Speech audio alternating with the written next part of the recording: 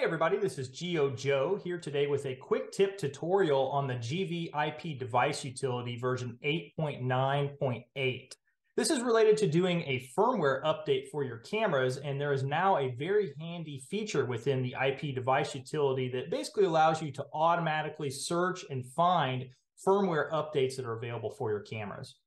Before I get into today's video, if you find the content on this channel useful, please subscribe to the channel and also give this video a thumbs up so it can help spread the word about the channel.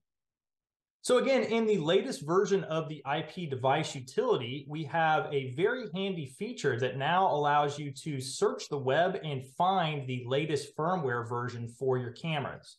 Now, a quick note on that is it does not work with older generation GeoVision cameras. So if you can see this demo system that I am in right here does have some older generation cameras such as the EFD 1100, the EBL 2100.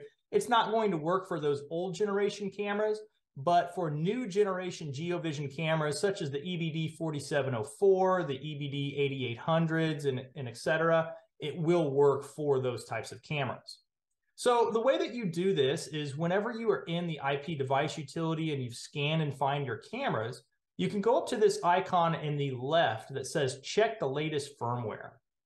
Once you hit that, it will scan through, it'll take a minute, and you can expand your columns here and look at the information.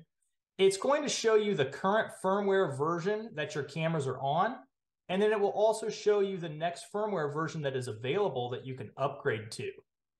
So what you can do is you can either hit select all, and then you can uncheck any cameras that you don't want to upgrade, or if all the cameras share the same password, then you can just simply leave it all selected and you can then hit upgrade and you can do a mass upgrade.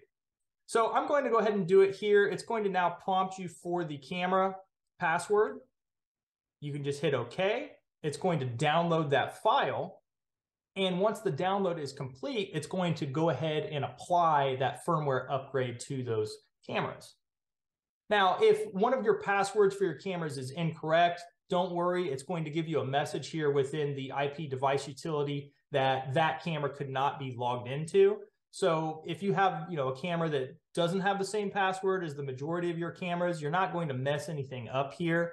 Um, you'll get a message and then you'll obviously have to determine what that camera's password is, and then you can individually update it on its own. Now, you don't want to hit the X here. You want to just let it go through and do its thing. As you see here, this is a good example where login failed. So that camera is not going to update because it has a different uh, password than the others do. But for our others here, we have the message that says firmware upgrade, and it's showing you here our status. So again, just let this go and do its thing. The cameras will then reboot once this, once this is done, and those cameras will be updated. You can see there we have one camera that's already finished up. It gives you the message that says firmware update finished. And now the others will go through and do the same thing and it will reboot. This has been a quick tip tutorial on the GVIP device utility that shows you how to automatically find the latest firmware and do an update.